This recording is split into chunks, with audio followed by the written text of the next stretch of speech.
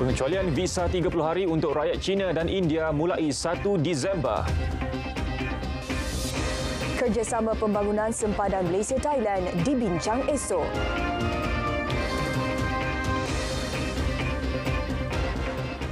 Assalamualaikum dan salam Malaysia Madani.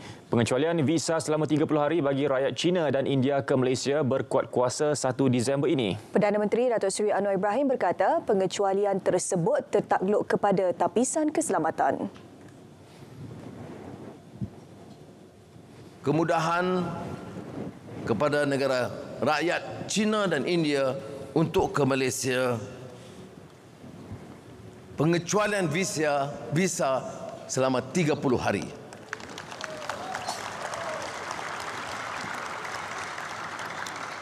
Pengecualian ini tentunya tertakluk kepada tapisan keselamatan.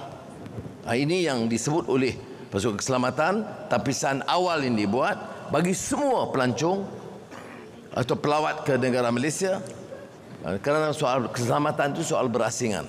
Kalau ada rekod jenayah ataupun risiko keganasan maka visa tidak akan dibenarkan ia bersempena ulang tahun 50 tahun hubungan diplomatik bersama China untuk menyambut semangat perkongsian strategik bersama negara tersebut. Jelasnya ini menambah kepada kemudahan sedia ada seperti yang dinikmati negara-negara Arab Saudi dan Asia Barat. Esok Datuk Seri Anwar dijadual bertemu Perdana Menteri Thailand Seta Tavisin di Sadau wilayah Songkla. Pertemuan untuk memajukan kerjasama bagi pembangunan kawasan sempadan antara kedua-dua negara. Kementerian Luar Thailand menerusi kenyataan memaklumkan pertemuan itu memberi tumpuan kepada mempercepat pembinaan projek utama kesaling hubungan di sempadan yang bertujuan menggalakkan perniagaan dan meningkatkan kesejahteraan rakyat. Projek itu termasuk jajaran jalan antara Kompleks Custom Immigration dan Kuarantin CIQ baharu di Sadao, Thailand dan Bukit Kayu Hitam serta pembinaan jambatan kedua di Sungai Golok Rantau Panjang. Semasa mesyuarat itu, kedua-dua pemimpin akan turut melawat jajaran jalan yang menghubungkan CIQ Sadao Baharu di Thailand dan Pusat Pemeriksaan Immigration, Custom, Kuarantin dan Keselamatan ICQS Bukit Kayu Hitam di Malaysia.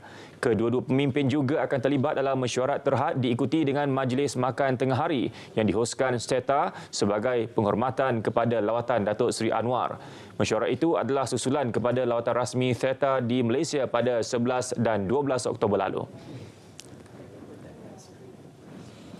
Cadangan bagi memperluaskan projek model ladang hutan di Hutan Simpan Sabal di Simunjan akan dilaksanakan di bawah rancangan Malaysia ke-13. Timbalan Perdana Menteri Datuk Seri Fadilah Yusof berkata pihaknya menyokong penuh pembinaan projek itu untuk memperkasakan sektor ladang hutan. Beliau yang juga Menteri Perdagangan dan Komoditi berkata projek itu bakal mengembangkan fungsi dan skop model ladang hutan yang sedia ada di kawasan itu merangkumi pusat penyelidikan perhutanan serta kemudahan infrastruktur berkaitan. Dalam pada itu katanya pemain industri perabot di Semenanjung juga berminat untuk memperluas perniagaan di Sarawak. Ia berikutan negeri itu mempunyai bekalan bahan mentah yang mencukupi serta giat menjalankan aktiviti penanaman semula hutan. Datuk Seri Fadilah berucap pada program Track Komoditi 2023 Zon Sarawak di Hutan Simpan Sabal di Simunjan, Sarawak. Baik, Kementerian Pertahanan akan meneliti keperluan untuk menambah anggota atau kelengkapan keselamatan bagi memperketat kawalan di kawasan sempadan. Menterinya Datuk Seri Muhammad Hassan berkata, menerusi Belanjawan 2024, kerajaan turut menyalurkan peruntukan besar bagi memperkasa kawalan tersebut. Pihaknya akan melihat semula keperluan kamera litar tertutup CCTV, penambahan anggota atau pembinaan pagar elektrik di sempadan dengan kerjasama pihak Thailand dan Indonesia. Ia merupakan langkah terbaik bagi memastikan jenayah rentas sempadan terutamanya penyeludupan yang menyebabkan kerugian berbilion ringgit kepada Malaysia dapat dikurangkan.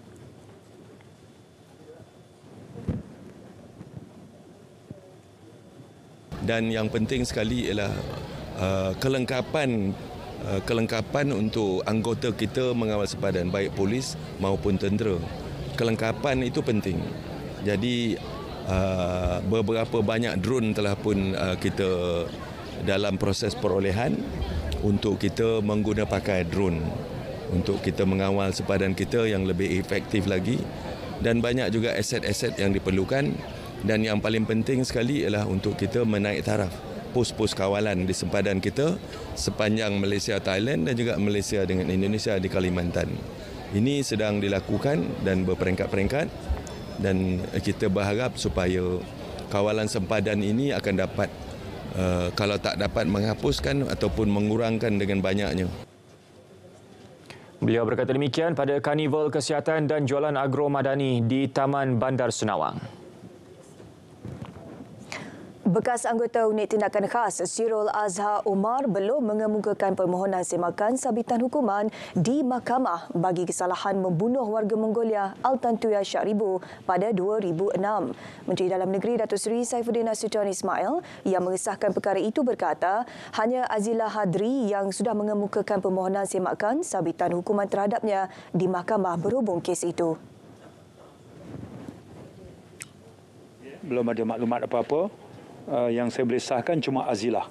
Okey, sementara Sirul sebab dia baru dibebaskan dalam tempoh seminggu ini, uh, kita belum lagi menerima maklum balas sama ada peguamnya telah mengemukakan permohonan semakan hukuman.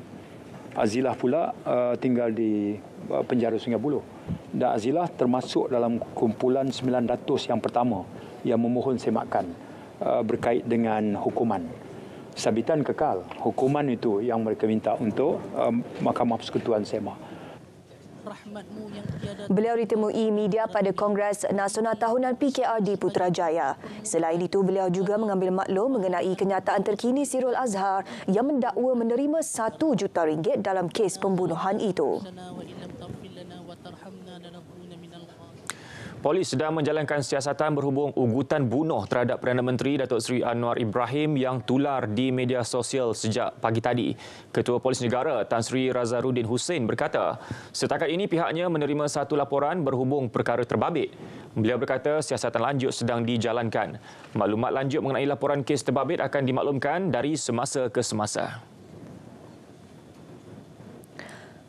Bina sebuah makmal subfertility di Lembaga Penduduk dan Pembangunan Keluarga Negara LPPKN di Kuching, Sarawak.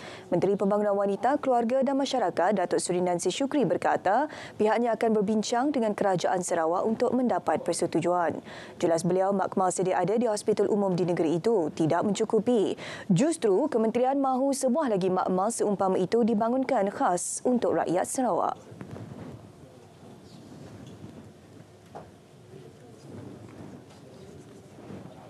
Have to speak to the uh, kerajaan negeri dulu untuk mendapat persetujuan dan mungkin adalah kalau kerajaan negeri nak menyumbang because ini hanya untuk Sarawak tapi kos lain kami akan tanggung. Beliau ditemui selepas merasmikan sambutan Bulan Keluarga Kebangsaan BKK 2023 peringkat negeri di Kuching, Sarawak. Hujan berterusan tahap waspada dijangka melanda beberapa negeri hingga esok. Jabatan Meteorologi Malaysia memaklumkan amaran itu membabitkan seluruh kawasan di Perlis, Kedah dan Pulau Pinang serta beberapa kawasan di Perak, Terengganu dan Kelantan. Di Perak melibatkan Krian, Larut, Matang dan Selama serta Manjung manakala Terengganu di Besut dan Setiu. Di Kelantan pula melibatkan Tumpat, Pasir Mas, Kota Baru, Bacok dan Pasir Putih. Sementara itu di negeri-negeri lain, ribut petir beserta hujan lebat dan angin kencang masih berpotensi berlaku dalam tempoh berkenaan. Orang awam dinasihat untuk sentiasa merujuk laman sesawang Met Malaysia dan semua media sosial. Selain memuat turun aplikasi My Cuaca bagi maklumat yang terkini dan sahih.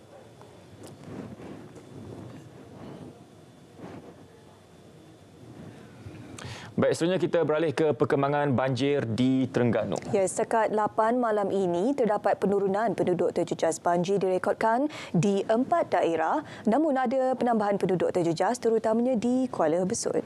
Ya, perinciannya kita bersama Audi Muhammad Nor. Silakan.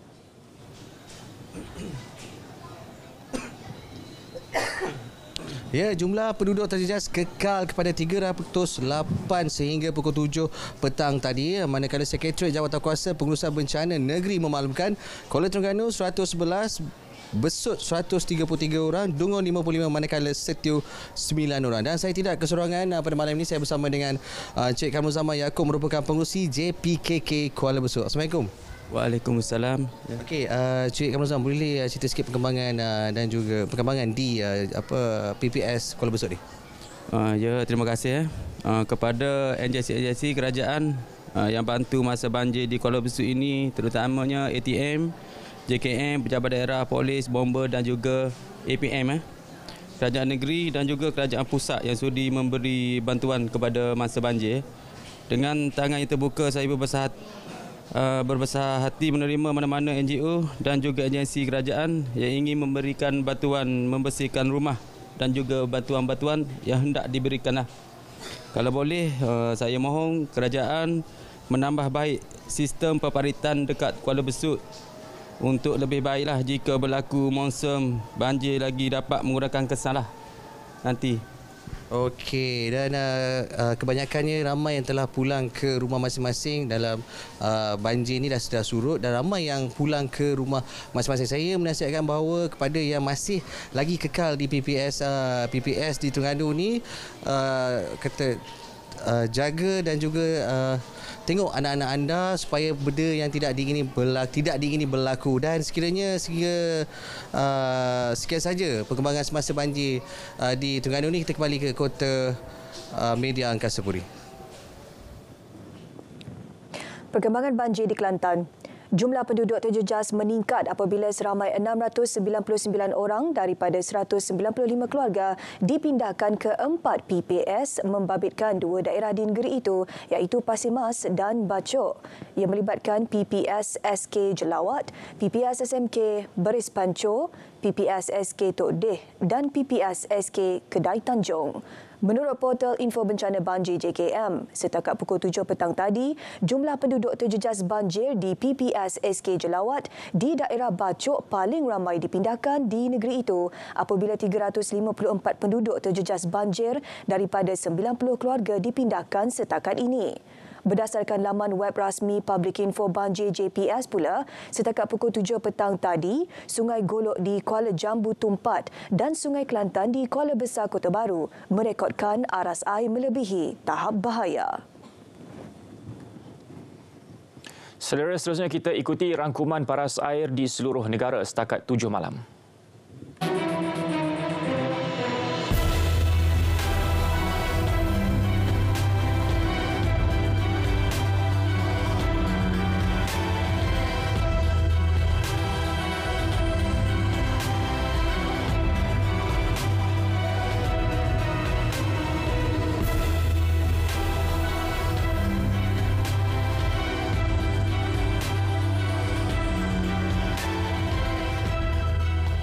Baik demikian tadi rangkuman paras air di seluruh negara. Seterusnya kita ikuti pula ramalan cuaca untuk esok.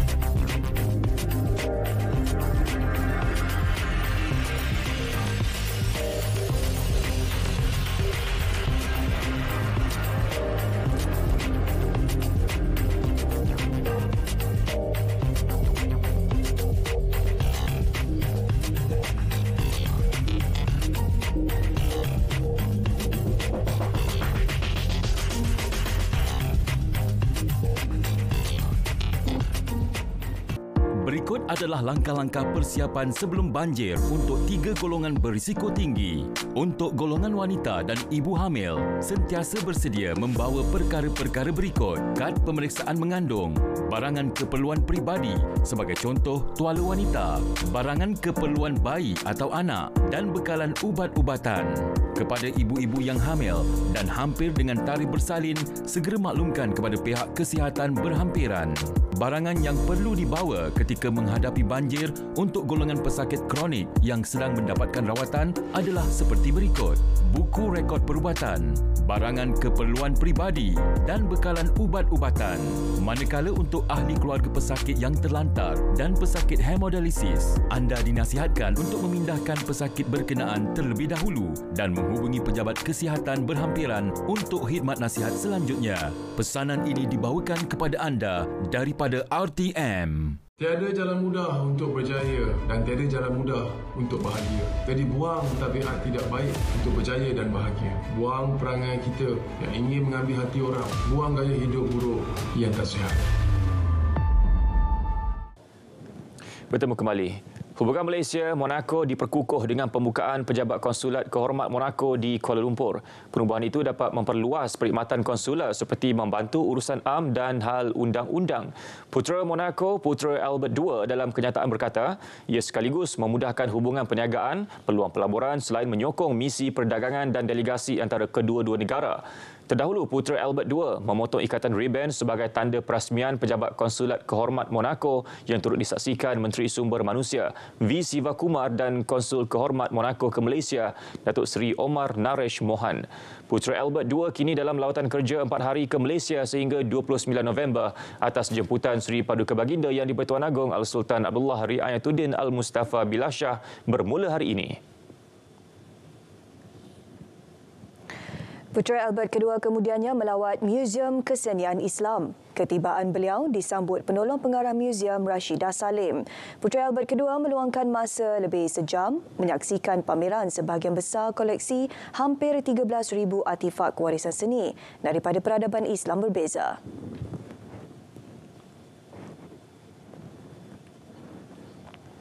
Sebanyak 12.5 juta ringgit hasil jualan berjaya dicapai Karnival Usahawan Desa KUD at Putrajaya 2023. Menurut Timbalan Menteri Kemajuan Desa dan Wilayah, Datuk Rubiah Wang, jumlah tersebut meliputi nilai transaksi jualan tunai, padanan perniagaan dan tempahan.